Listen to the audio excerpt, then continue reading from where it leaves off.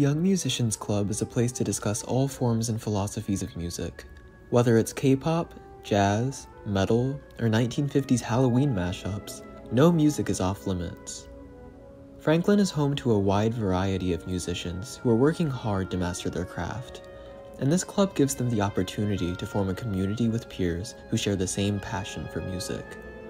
We offer guidance and resources, like critiques and low cost access to professional performances we're also currently working on setting up a platform for virtual performances and recitals.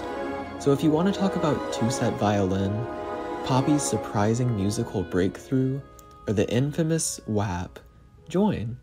We hope to see you at our meetings soon.